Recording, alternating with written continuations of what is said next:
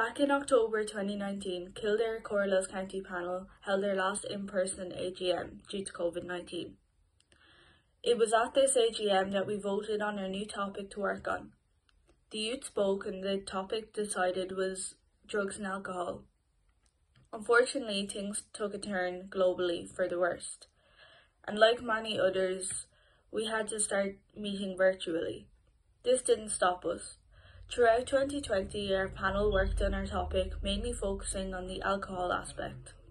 We started our campaign of two years to bring an awareness to an increase of drug and alcohol consumption during this pandemic.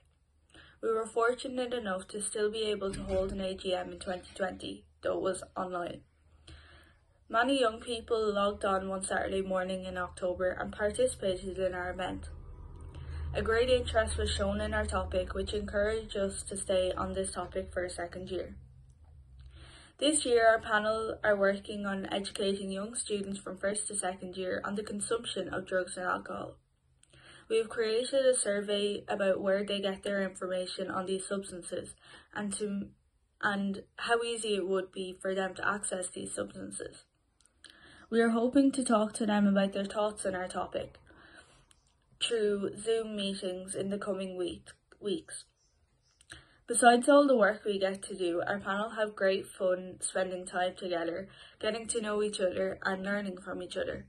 It's my second year on the panel and I've loved every experience and conversation I've had with my fellow panel members.